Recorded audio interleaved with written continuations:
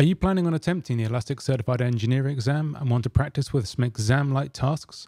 Or want some lab exercises to help you learn Elasticsearch? I published some lab exercises with a companion dataset, and in this video, I'm going to work through some of the tasks and talk about some of the recent changes to the curriculum. Hello, E people. The lab exercises I released over a year ago now have been way more popular than I expected.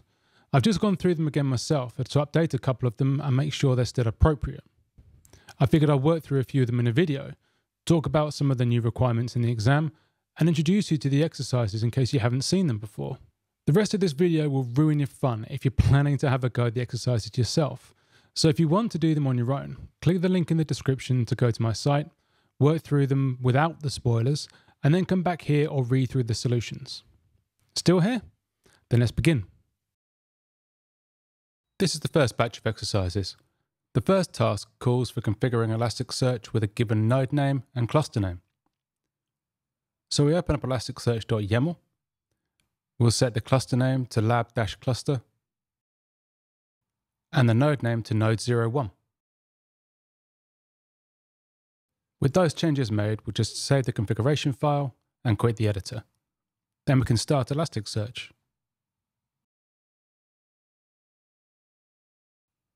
Our single node cluster is now started, so go to localhost and port 9200 and check that the configuration has taken effect. The node name is set and the cluster name is set. Task 2. Configure Kibana to point to the Elasticsearch node and start it. We'll open up the Kibana configuration and set elasticsearch.hosts explicitly to localhost port 9200. This is the default for Kibana, but setting this explicitly in the configuration makes it absolutely clear what Kibana is pointing to. We can then start Kibana. Open a new tab, go to localhost port 5601, and Kibana loads just fine. Task 3. Now, in this step, we're going to load the dataset that we're going to use for the rest of the lab exercises. So we download the file, and then back in Kibana, we can click on the Upload a File button to go into the data visualizer. Now, this is a new and experimental tool in Kibana, but it's very useful and it is a new requirement on the Elastic Certified Engineer curriculum. We can then drop the file in and Kibana will pull out details for the top 1000 rows in the file. It'll tell us all the fields that it's found and give us some stats about the number of unique values in each of the fields. Once we see that Kibana has registered the file correctly, we can click Import and then specify the index name we want to use. Go back to remind ourselves what it's called, Olympic-events. We don't need to create an index pattern here, so I'm turning this off. If you want to use the rest of the Kibana tools, like Discover or build dashboards around the dataset that you're importing, then you can leave that ticked and Kibana will create an index pattern for you. And Kibana has now loaded in all the data in the file. That task is now complete, so let's go on to the next one. Task 4 calls for getting some data about the new index that we've created. We can validate that the data has been imported correctly.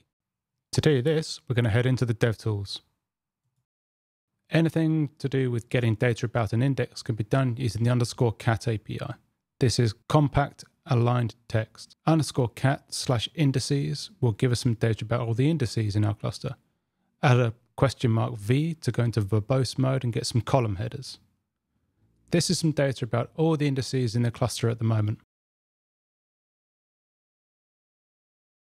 This is the index that we need the data for.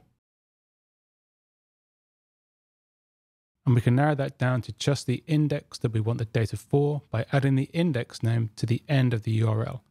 So what else do we need? We can add an ampersand h to specify the headers that we want returned in our response.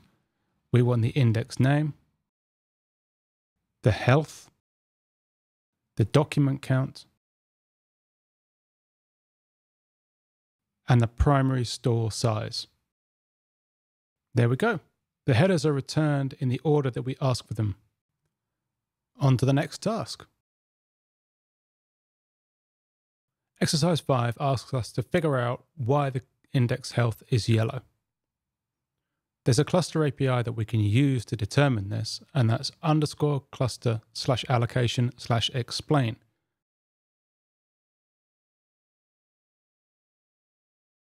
Here we can see that Elasticsearch can't allocate a replica on the same node as the primary. Now this is happening because we've only got a single node cluster. So the index health is yellow because there's an unallocated replica shard for our index. Exercise 6 asks us to fix this problem and get the index state back to green. To do this, all we need to do is to update the index settings for the index we just created to remove the replica shard. We can update the settings to set the number of replicas to zero. And then we can use the endpoint we built in a previous task to check the index state, and now I see that it's green. The next task involves looking at the mappings that Elasticsearch has generated for the new index, and figuring out why it's used a keyword type for a field that you'd expect would contain only numbers. Here's the age field and its associated keyword mapping. Now let's look at all the unique values in the age field. To do this, we're going to use a terms aggregation. We set the size to zero because we don't want any actual hits back and build out a simple terms aggregation over the age field. Terms aggregations by default only return 10 buckets, so we're going to need to increase that to 100 to see all the unique values in the field. Having a look through here at all the unique values, you can see that there's a value of NA, this will be why Elasticsearch has used a keyword field and not an integer or other numeric type field. Mystery solved. We're going to be cleaning up these values soon, so the first thing to do is to take a backup, or a pseudo backup. Now I use a reindex for this, reindexing from the original index to a backup index with the name given here, Olympic-events-backup. Now it's not a real backup. All we're doing is taking a copy of the data and putting it into a new index. Now, this isn't cloning the index. The mappings will be completely different in the destination index than the source index. All Elasticsearch is doing is copying the source data from one index to another. Once the reindex is finished, we can use the cat indices endpoint again and see our two indices with matching document counts, although different sizes because they've got different mappings. On to exercise 9. Now we're going to get rid of all the documents that contain NA in either the height, weight, or age fields. So we're going to write a query to match all of those documents and then use delete by query to do the deletion process. Now there are a couple of different ways that you can do this. You can use a bool query with multiple should clauses, or you can use a multi-match because we're matching the same value in multiple fields. Here, I'm using a bool query with three should clauses for each of the fields that we're matching against and I'm going to add the minimum should match clause as well. The default value for minimum should match can be either 0 or 1 depending on how it's being used. I've got a link in the description to a blog post where I talk about the unusual behavior of should clauses and when you should use minimum should match.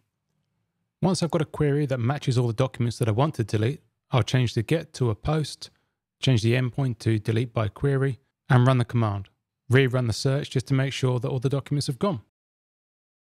Exercises 10 and 11 involve ingest pipelines. Now, I work through exercises 10 and 11 at the same time.